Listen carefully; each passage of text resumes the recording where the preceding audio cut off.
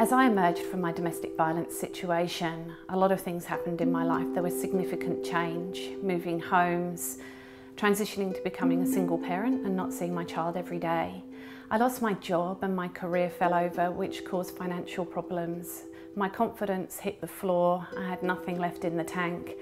And I look back to that woman and uh, I just want to give her a hug because I know how hard life was back then. We have to keep our women and children safe. Please, let's change the world, hey? Thank you. The number one killer of women up to the age of 44 is being murdered at the hands of the man who once said, I love you.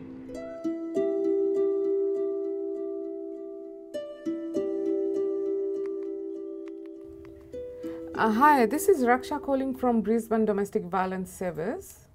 We've received your referral from Queensland Police regarding your domestic violence matters.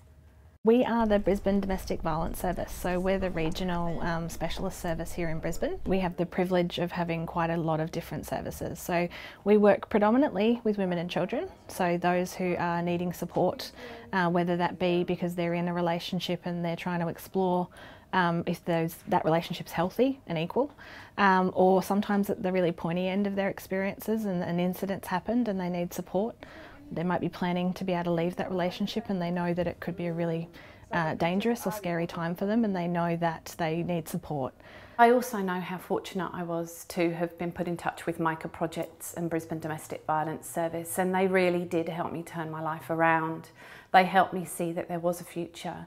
They encouraged me every step along the way and made me realise that I wasn't broken and that everything would be okay and it was. I booked her for an uh, uh, safety planning. However, I've done a, a, brief safety planning on, over the phone. Like she's aware to call triple zero if anything happens because she has said that he's driving by uh, her house and he has located the where they were living.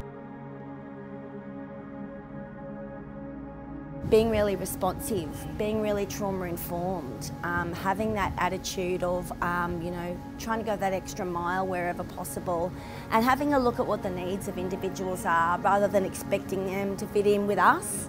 We fit in with what they need. We've got a police officer that's housed here.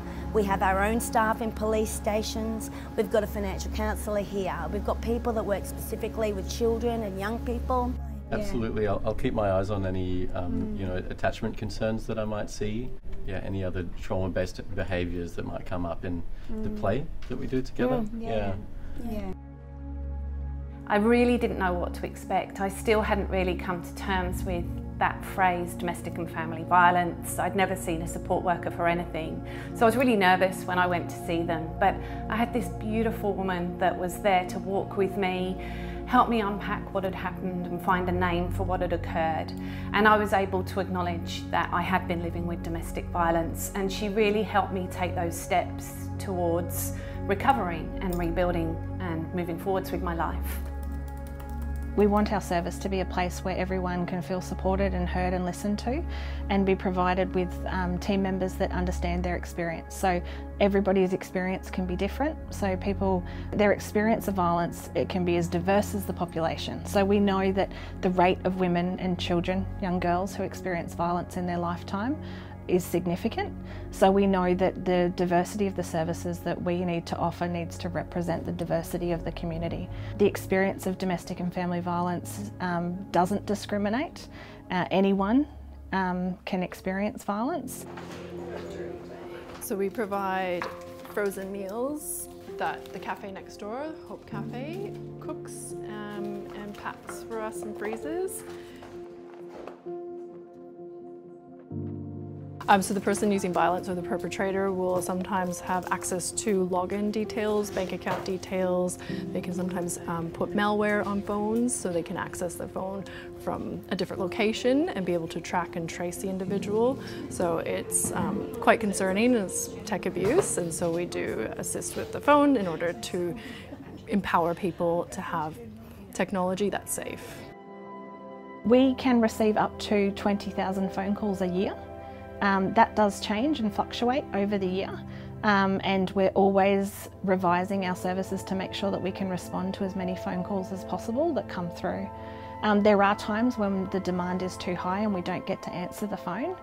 So what we do encourage and what we do support and we try and respond to as best as we can is when other services or professionals or community members support someone to contact us. So a lot of the work that we do is actually responding to referrals that have come from police or other community organisation or government partners. So when somebody has accessed their services and they're recognising that they might be experiencing domestic violence, being able to connect us in so that we can assist those people. A lot of our work comes from those pathways and we're really grateful for the community that we're in Brisbane and the, the level of knowledge and recognition that happens at a community level. Through working with Micah, not only have I navigated through and beyond domestic and family violence, I've had the privilege of working with other women that have done the same, but I've also created an organisation that works with workplaces to address domestic and family violence in a meaningful and relevant way.